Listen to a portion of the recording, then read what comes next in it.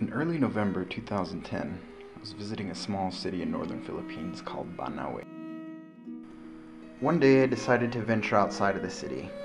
I walked beyond the confines of the surrounding hills where heavy rains often wash out or cover roads with mud and debris of a landslide.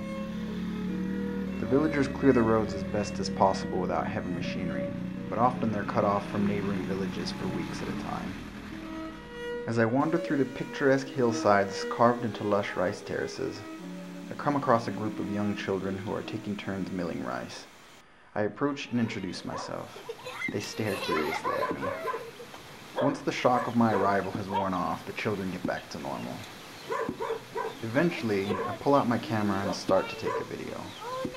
Seeing a camera isn't new to them, but as soon as one of the kids ventures behind me, she sees her sister moving on the small viewing screen, and her face lights up with excitement. She calls out what she sees, and others join her behind the camera to watch the movement on the little screen. I bend down and give them a better look.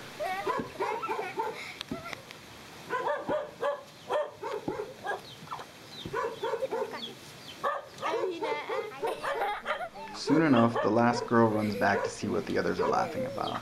And she's puzzled. She shrugs her shoulders and gives me this look like, Where did I go?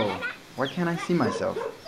Soon enough, another little girl has a moment of realization, and she hurries back in front of the camera to be the star of the show.